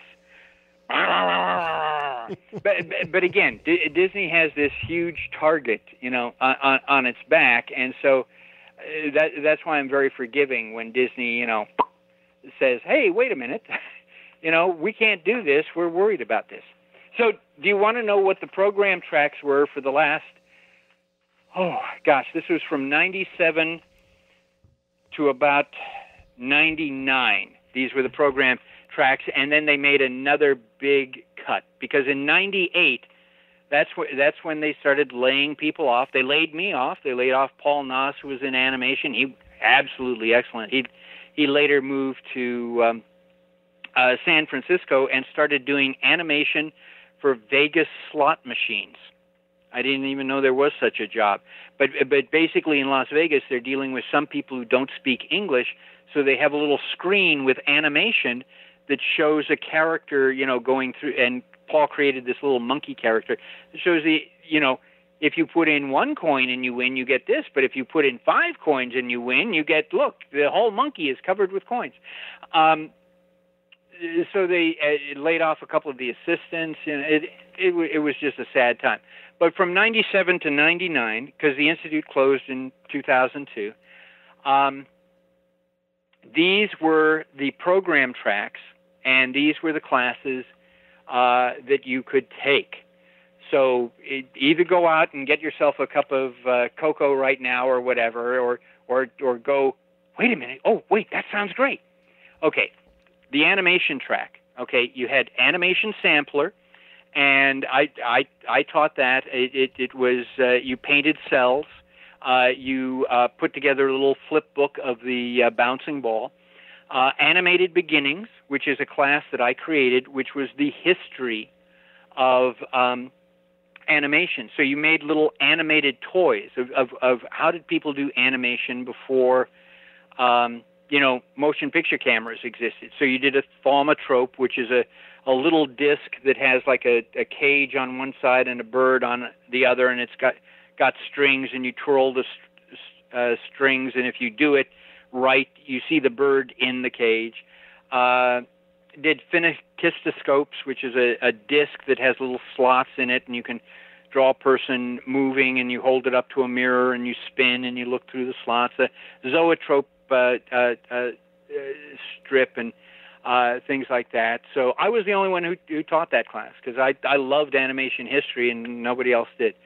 Uh, Voices of Disney, and I, I again I created that class and was the uh, uh, instructor for that. Paul uh, Noss uh, would come in and and uh, cover for me. He was my backup on that. Um, and so you would uh, teach people the different voice placements because I've I've done professional voiceover work. I had done professional voiceover work in in uh, uh, California. I had done it for the American Medical Association for one of their uh, uh, puppet shows. I had done some independent animation, things like that. So the voice placements, and uh, then you record people. You know, you have these little sides. Uh, uh, sides is one sheet of paper that has the dialogue on it, and you record the people. And, and again, they leave with a copy of the tape of them, you know, doing these voices. Uh, classical animation, where you learn how to draw a character, not just the standard Mickey Mouse or whatever, but Winnie the Pooh, things like that. And you also did the bouncing ball, but instead of doing it on the flip book, you drew it on animation paper and then you filmed it underneath the camera so you could see the ball bounce, you know, back and forth. Uh, computer animation, which again, you know, you talk a little bit about computer animation, how it's done, how it's wireframe, how you connect things together, and uh, clay animation, which was stop motion, which is where you know you have uh, people at three different stations and they're creating their characters and and they film, you know, one frame at a time. Uh, you know their characters uh, uh, moving, and and we'd have celebrities come in too. And when I was teaching clay animation, um, uh, Glenn Close came in, and and uh, one of her handlers came in before she came into the class, and she said, "Do not look at Miss Close. Do not talk to Miss Close unless she talks to you. You know, keep a, a, a keep the the other guests away from Miss Close." And, and and she came in with her her boyfriend and and her um, uh, one of her children, and um, maybe she only has one child, but uh, uh, she came in with one child, and uh, the sweetest person in the entire world. And I said, we'll have a special table for you just over here. Said, no, no, I want to be. And and she wanted to be with the other guests and and do this. And she talked with them. And oh my gosh. Um, uh, the other uh, next program track was culinary arts, and the classes you could take was uh, Taste of the World, uh, Wine Wonders and Song, Healthy Cooking, Romantic Dinners, Culinary Technique, uh, Studio Bakery, uh, celebrations, which is like you know birthdays, things like this. You won't find this information anywhere on the internet, anywhere else. Sometimes you'll you'll find somebody saying, "Oh, you know, I went to uh, Disney Institute and I took such and such a class and it was a lot of fun, and I went back the next year and it wasn't there." Uh, programming track: home, garden, and great outdoors. So that brought in some of the um, the, the design arts classes. So you had uh, painting illusions, you had Disney architecture, you had the canoe adventure, where you actually went on a canoe, you know, through through the waterways there of Walt Disney World, and saw alligators and all of that. Uh, traveling gardener, topiary creations, which was like the most popular class, because you could make a sphagnum moss, uh, little small Mickey Mouse, you know, 12, 24 inches high, I guess. You know, you could make your own little Mickey Mouse topiary. Gifts from your garden, container gardener. Then you had communication, arts, and entertainment. That that, that was the film and uh, photography and radio. So you had an edit workshop, outdoor photography, uh, DNN studio production. Um, DNN is uh, Disney Network News there. Uh, exploring photojournalism, computers, uh, learning the internet, uh, digital imaging, uh, field production, candid portrait photography, DJ, uh, DIDJ, desktop publishing. Then you had sports and fitness, which would have um, aerobics, golf, several golf classes, you know uh, tennis, several different tennis classes, dance, dance, dance, uh, aerobics, rock climbing. Rock climbing was huge. They had a rock climbing wall there. I never did that because uh, I'm a wimp. And um, but again, you know, they have all the harnesses, they have all the safety things. If somebody got stuck up there, they'd climb up and get you and bring you back down. Um, strength training, uh, relaxation techniques, self defense water exercise. And then the final programming track was what was called Camp Disney.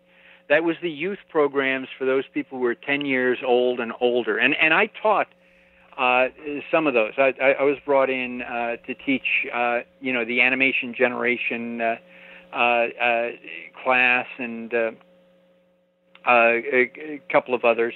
Uh, because again, I, I, I was a, a certified teacher you know, in Los Angeles. So I had that background working with with younger kids, and I had that uh, expertise. So they had Showbiz Magic, Swamp Stomp, which they took you out into the swamp. The Funny Papers, which was the cartooning class. I, I uh, occasionally taught that.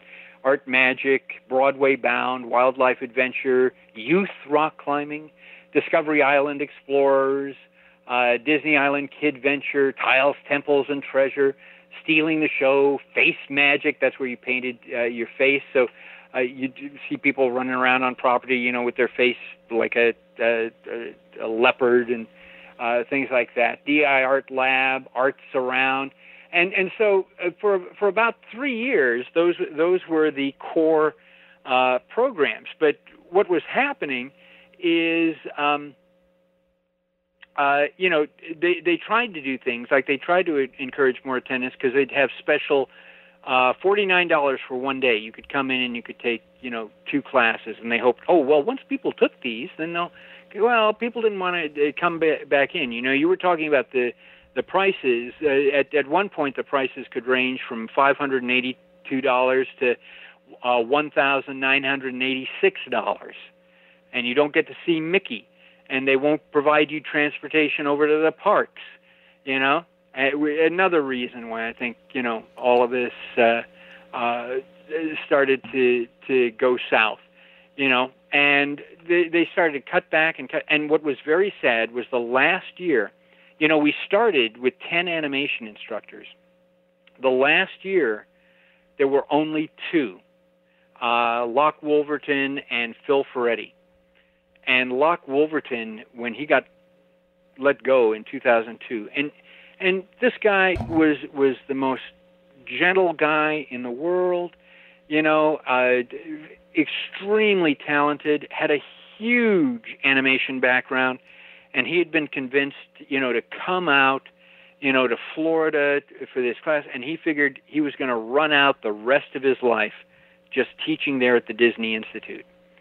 And when the Disney Institute laid him off, he had to he's stuck out here in Orlando and he's got to struggle to try and find, you know, freelance work.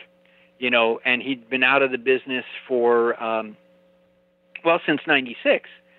So, you know, uh, people come and go and so, you know, uh, it's uh, difficult to do that when you don't have connections. Very uh bitter. But, you know, uh, Disney goes, "Well, we're just well, we're cutting those classes."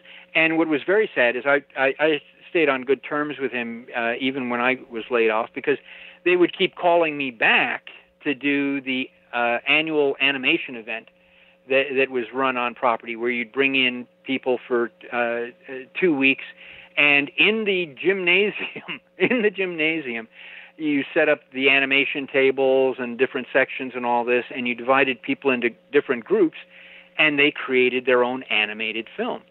And so the last year 2002 uh, it was um, uh, drawn to be bad disney villains drawn to be bad was, was the theme. And so they were each given uh, the apple, which was you know the, the witch's Snow White's apple, and that was the first image in your in your segment in your sequence, and it was the last in your sequence. So you started from that apple, and then you had to storyboard and create your own story, but then it had to come back to that apple. So then you could cut together all those different uh, things into one, you know, uh, solid cartoon. It, it was great. People and we brought in uh, people like oh uh, Jeff Kurtti. We brought in uh, uh, um, uh, uh, Joe Ranft. Oh, I love Joe Ranft. Uh, he came out and and uh, talked, and so uh, we had all of those uh, people going.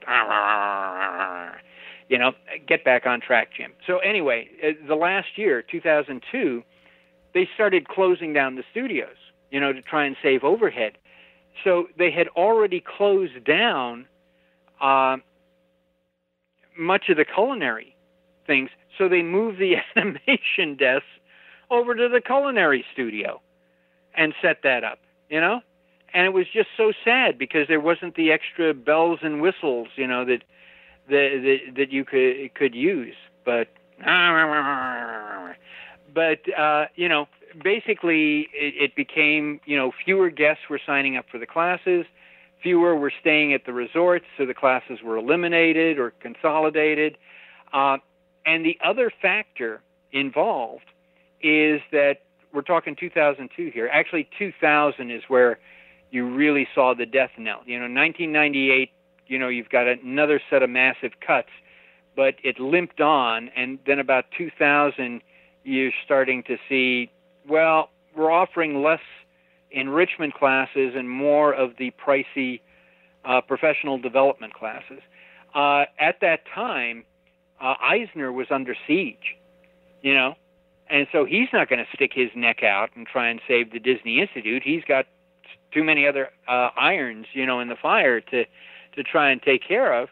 And also uh, there were people at uh, Disney who did not care for Michael Eisner, and they saw that this was uh, Michael's uh, uh, one of Michael's pet projects, and so what can we do to undercut this so that we can literally show that you know, look how wrong and bad Michael Eisner was. So you know that that played a factor into it as well, and the fact that that you've alluded to, which was, um, you know, you're coming out to Walt Disney World, and you're not going to go play at the parks. You know, I, I taught some of the the youth programs because they got offered to um, uh, school classes that came uh, to Disney to visit, and those were some of the hardest classes in the world for me uh, to teach because I'm sitting in this room with middle schoolers, and they had been told they were going to come to Walt Disney World, and they're sitting in this classroom with this old man. and and and the parks are just literally minutes away. And so it's like how long do we have to stay here until we can go to the parks you know and i think But- and i think the- I think that's uh, I I think the biggest part of the problem, Jim, was not necessarily what Disney Institute was doing or financials or cutbacks. I think it was two things. I think one was an awareness issue. I think that they wanted and expected this to grow via word of mouth faster than it did or or, or was. Mm-hmm. And I think and as a from a guest perspective and having conversations with my parents about it, I was excited to go because I was a nerd and I wanted to learn from the people who were creating this place that drew us back every year. But I also didn't want to spend time away from my family, and my family didn't want to go and sit in a classroom. And I think that's at, at the heart of it is people didn't want to learn while they were on vacation, especially kids or even adults who were stuck in offices didn't want to go back into a classroom. And all the discounts that they offered and those $49 preview days and all the other incentives didn't do anything to change the perception of what that was. It suffered from the the part of the issue that Epcot was getting for a while in terms of identity which was Epcot's the educational park. I'm on vacation. I don't want education um, it eventually, you know, like you said, they cut the programs and everything is getting cut, cut, cut, and then at some point they realize that this that this model is just not going to work.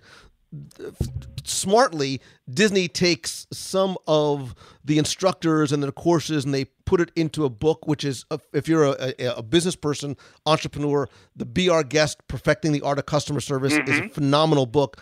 But now they've got all of this investment of these villas and these new buildings. How do they go and they recoup this? Well, I think it's obviously a, a twofold process. They, they change the focus of the institute from being something for families to something for business professionals. And I think giving them this concept of peeking behind the curtain from Disney's secrets of culture and customer service leads to what we have today for the Disney Institute, which is training for businesses. It takes place in places backstage, not just in classrooms, but backstage and onstage areas. Well, you know, when the Disney Institute closed, that was the Disney spin.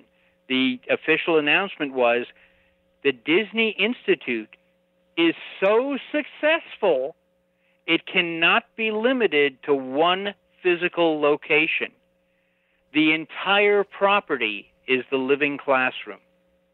And by And changing they took and they took the professional development people and they shoved them over into cubicles over at uh, uh, Celebration, um, and uh, uh, you know uh, they really cut the Disney Adult Discoveries uh, program. They kept some of the uh, uh, classes and transferred that over to uh, Disney University, and the uh, youth classes now connected with that uh, uh, to the S programs uh, with that. But yeah, you know, so successful it cannot be, you know, uh, contained in one. f- You know, But- one but of the things that the was focus- a great advantage about the Disney Institute is people felt that now they could have that personal connection.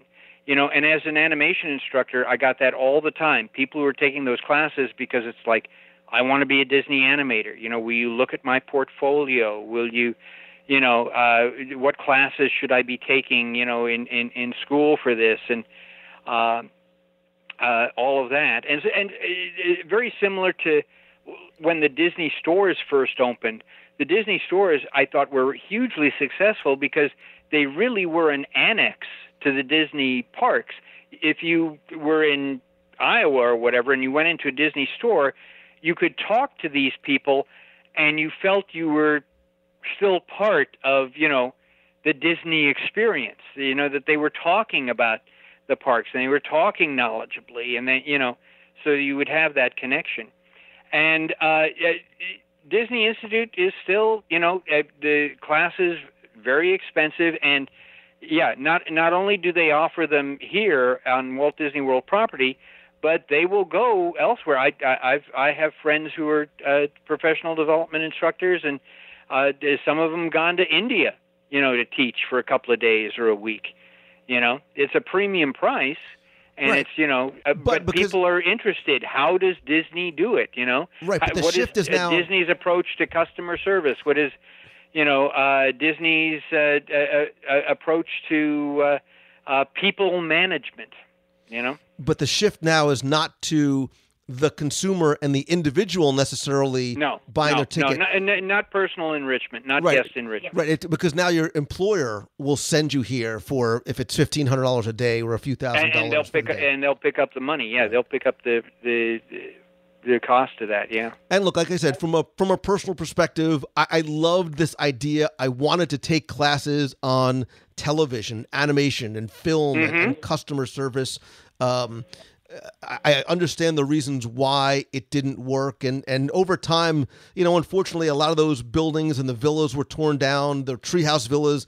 Eventually, they got mm-hmm. the international cast members out. Now it's one of, I think, the most unique places to stay on property. But what I want to know is I want to know from you, the listener, have you ever been to, did you ever attend or take any classes or stay at the Disney Institute?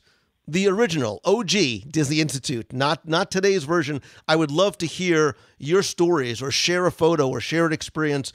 The best way to do it is by calling the voice. did, did you ever take any animation classes from Jim Korkis? And and was he a lot thinner and he, He had was. more hair and it was dark?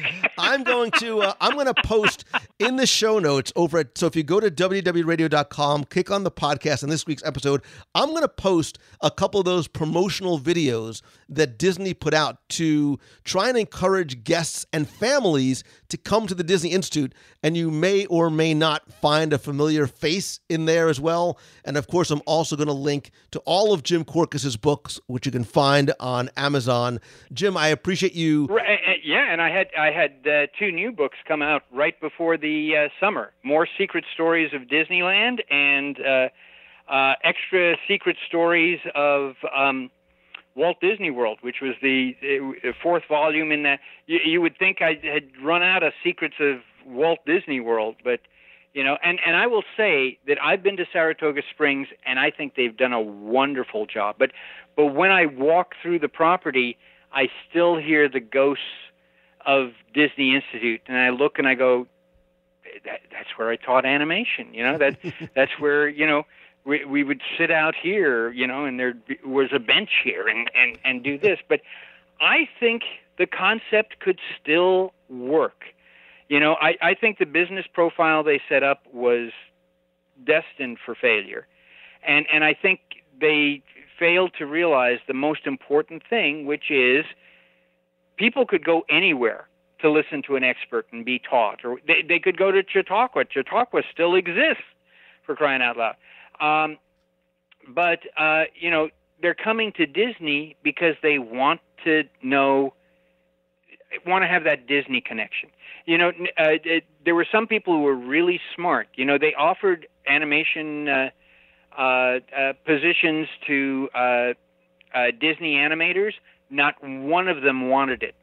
No one wanted to relocate to Orlando, and those who were already out in Orlando didn't want to take a, a, a chance and and move over to the institute because you know they were they were working on um, uh, uh, films. Uh, uh, Mulan w- w- was coming up, and uh, uh, all of that, and uh, Lilo and Stitch, you know, was uh, in in process, and so it was like boy, this studio out here, this annex studio out here in Orlando, this is going to exist forever.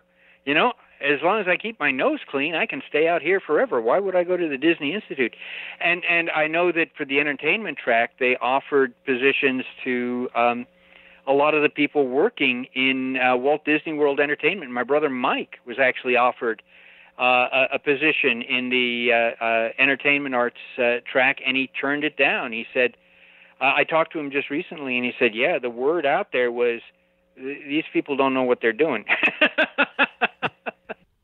Well, it's too bad because, like I said, I, I think look, and based on the popularity and the success of the backstage tours and people want to learn and they want to learn Mhm. from Disney, I think this concept would absolutely succeed. So, in addition to letting me know if you've ever been to the Disney Institute, let me know your thoughts if something like this was brought back.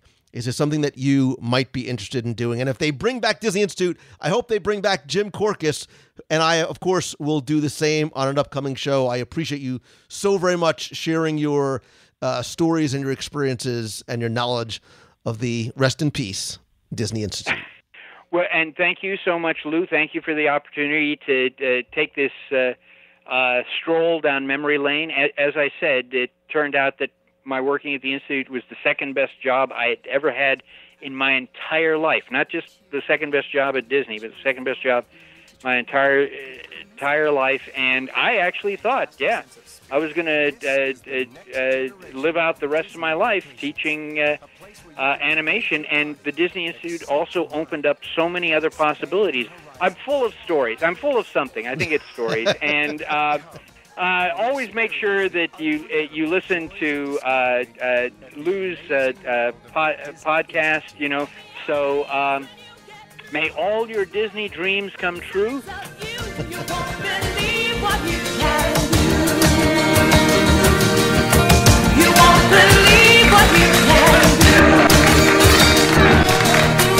I can't believe I'm doing this.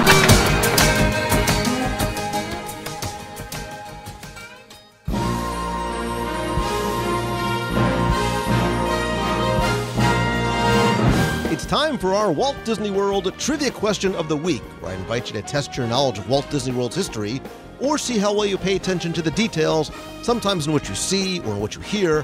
And if you think you know the answer, you can enter via our online form for a chance to win a Disney Prize package. Before we get to this week's question, we're going to go back, review last week's, and select our winner. So it's August in Florida. Do the math. It's hotter than normal, and I and a lot of other people are spending more and more time in the oh so very wonderful Disney water parks. And that's where your question brought you last week, because I wanted you to tell me who is the mascot, if you didn't know they had one, of Blizzard Beach. Thanks to the hundreds of you who entered, got this one correct, or were very creative in your answers. But the correct answer that I was looking for is Ice Gator. Ice Gator, like Ice Gator, is the official mascot of Walt Disney World's Blizzard Beach.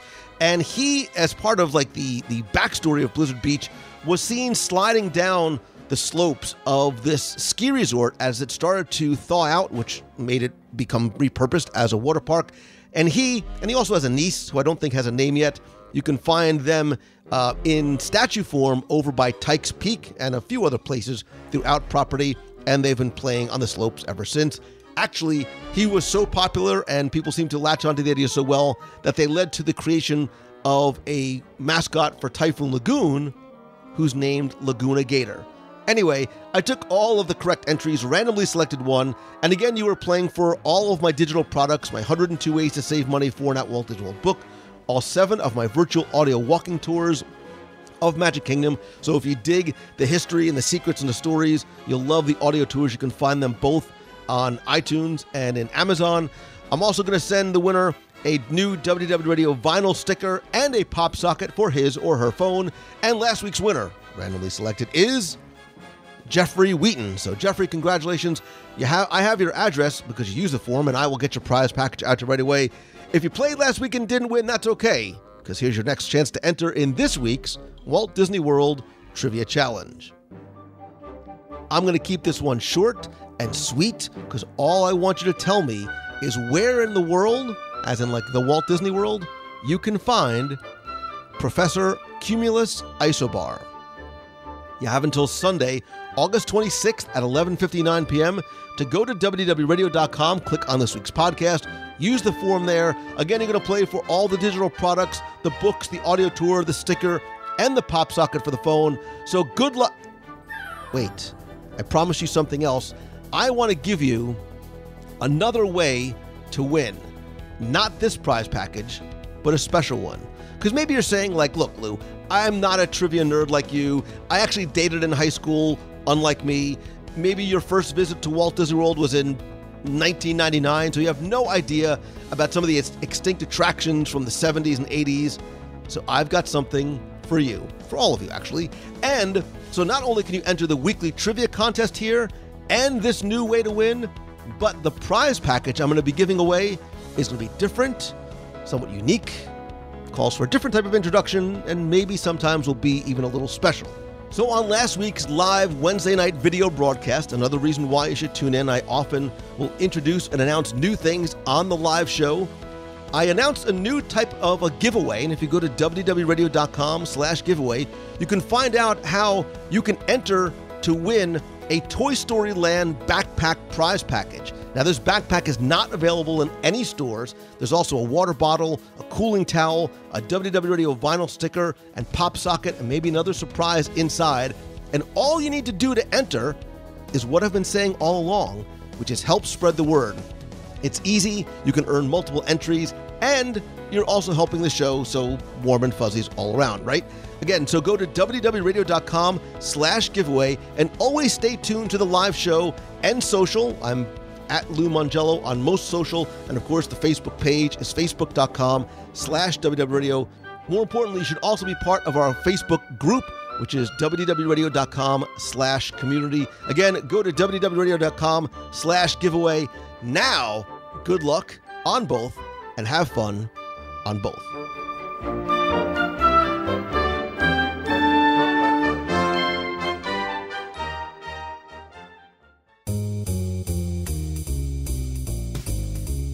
That's going to do it for this week's show. Thank you so much for taking the time to tune in this and every week. Don't forget to continue the conversation and more importantly, be part of the community by going to wdwradio.com slash community. That is our Facebook group. I want to thank some new members of the WDW Radio Nation family, including Rich O'Kane, Melanie and Shane Whitfield, Jessica Graziano, Lisa Oulette, Chris Payne, Jeffrey Imwald, Dave Harrell, and Christine Tildesley Morrison. I appreciate all of the love and the support. And if you want to find out how you can not only help the show, but get monthly rewards, including scavenger hunts, Magic Band covers, logo gear. We have a private Facebook group. We do live video group calls and lots more, including early access to special events.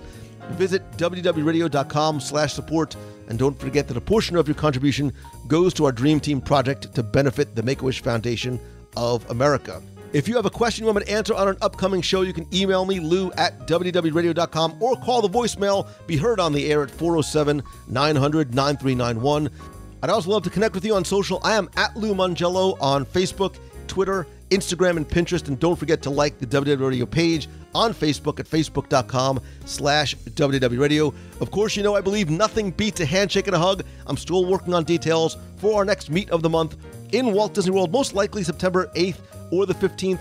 I'll also be this weekend in Noblesville, Indiana on Saturday, August 25th at the Indy Disney Meet. And Sunday, I'm going to be speaking at a college in Latrobe, Pennsylvania, and then doing a meetup later on that night. You can visit facebook.com slash wdwradio to find out about those and other events, including other on-the-road events as I travel to speak. And again, if I can come to speak to your conference, your business, to your school, you can visit loumongello.com. I also still have just a few spots remaining for my Momentum Weekend Workshop, October 6th and 7th in Walt Disney World. We've already announced Dan Cockerell and Ashley Eckstein as our keynote speakers. This week, I'll have a full list of speakers as well as topic sessions. For more information, go to loumongello.com slash momentum. There you can also find out how I can maybe help you turn that thing that you love into that thing that you do with some one-on-one or small group coaching. Thanks as always to Mouse Fan Travel, my official and recommended travel provider. You know it's who I love because it's who I use, and that's why I recommend them. Whether you're going to World, Land, Cruise, Aulani, Adventures by Disney, or any place on this planet, they can help you get the best possible prices, all available discounts at no cost to you. And then don't forget to head on over to celebrationspress.com to subscribe and order back issues to Celebrations Magazine. And as always, my friend, and you are my friend, I mean that from the bottom of my heart. All I ask, though, is that if you like the show, please help spread the word. It is so very important.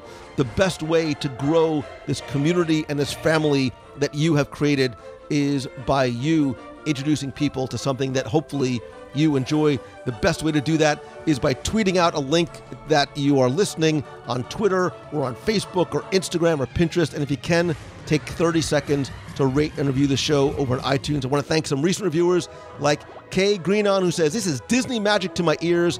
This is the podcast of Disney podcasts. I've become a major fangirl for Lou and his show. More like a friend girl than a fangirl. Anyway, the passion he has is infectious and, dare I say, empowering.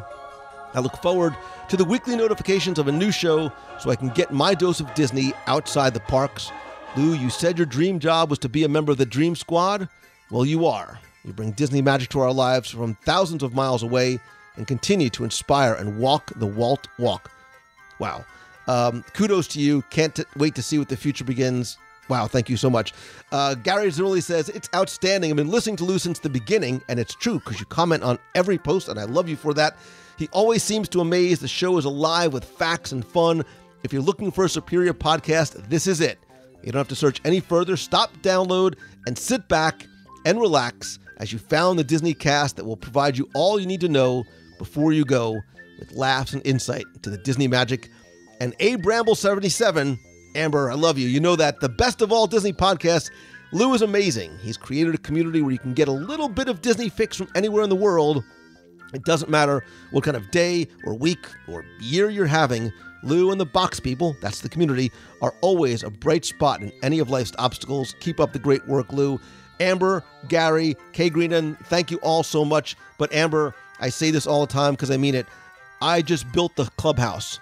You guys are the ones that populate it. You have created this remarkable community that I am blessed and thankful to be able to be part of and pay witness to. Again, thanks to all of you who have rated and reviewed the show. Again, just you can search for WDW Radio on iTunes or go to wdwradio.com slash iTunes for a link and instructions on how to do it. And finally, and most importantly, thank you, thank you, thank you for the ongoing gift that you give me each and every week. And I do hope that this brings a little bit of happiness to you wherever you are and whenever you listen. And whatever it is that you do, whether it's for fun, for work, or maybe something that combines the two, don't forget to always put everything you have into everything you do. Thanks again for listening. I hope that this is your best week ever. See ya. Collins from Moline, Illinois. Just got done listening to episode 530 about the top 10 shopping experiences. And you asked to uh, about our favorite experiences. Well, the la- our last family Disney World trip that we took a couple of years ago, uh, I had one shopping experience I had to do, one souvenir I had to have, and that was at uh, Mori, Memento Mori sh- shop, as you were talking about, it's your favorite. Uh, I had to get a ghost picture of myself. Uh, it was a great value, great time. Uh, it was no wait at all, hardly. Uh, and I really enjoyed it. And uh, it was around 20 bucks. And it was one souvenir I had to have and I had to make, bring it home. So, uh, thanks a lot for the great show you're doing. Uh, I plan on going to the Disney MPB in Noblesville, Indiana. Hopefully I can see you there. Thanks. Bye. Hi, Lou. This is Jennifer Lambert from Southgate, Michigan.